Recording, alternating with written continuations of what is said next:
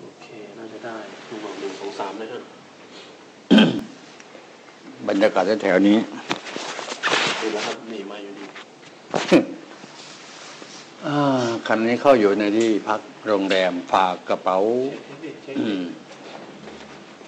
ฝากกระเป๋าครับเพราะว่ายังไม่ถึงเวลาที่จะเข้าพัก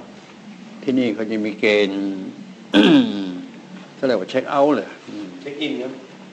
เราเน่ะเช็คอินเขาเราเช็คเอาท์อืม เอาไม่ออกอินก็เข้าไม่ได้ครับใช่ปะเอาไม่ออกอินก็เข้าไม่ได้ ใครเคยคุ้นเคยจากคำว่าทฤษฎีน้ำล้นแก้วบ้างไหมเนี่ยอืมเช็คเอาท์โอเคจบเปิดได้ครับท่านท่านรู้เลยฮะเอาไม่ออกอินก็เข้าไม่ได้ ใช่ไหมล่ะมันเราอยู่ในบ้านเราเนี่ย ถ้าเราไม่เปิดประตูข้างในออก ข้างนอกก็เข้าไม่ได้ ลองคิดสองคำนี้ดู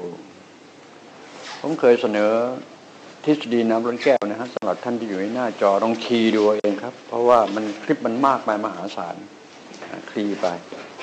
นะกดเอา wording เข้าไปว่าทฤษฎีน้ำล้นแก้ว ท่านจะได้รู้ถึงหลักการคิดวิธีคิด ในเชิงคณิตศาสตร์ วิทยาศาสตร์ ธรรมชาติ และศาสตร์จิตจิตศาสตร์เนี่ยครับ ก็เป็นโรงแรมที่เรามาพักนะฮะก็ถือว่าเป็นโรงแรมที่อยู่ได้ใช่ครับแต่ว่าสะอาดนแล้วเราจะกลับมาอีกประมาณสักสี่โมงนะครับแล้วฉะนั้นก็ออกมาอืมมาบรรยากาศภายนอกล้วเนี่ยบรรยากาศภายนอกนี่เป็นบรรยากาศที่ดูสิครับ นี่ก็เป็นหิมะทั้งนั้นเห็นไหมอืม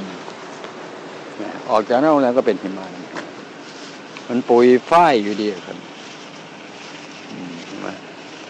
เออบี้ยังไม่ละลายเลยฮะยิ่งไม่ละลายไม่มีความร้อนแลกเปลี่ยนเลย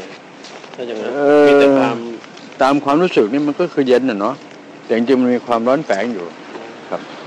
แม้ว่าจะอยู่ในเกณฑ์ของลบลบยี่สิบ มันก็มีความร้อนอยู่ มันเป็นไปได้ยังไงครับ มันมันไม่ละถ้ามันมีความร้อนมันต้องละลายสิฮะเออไอ้เจ้าความร้อนแฝงเนี่ยมันเป็นวิชา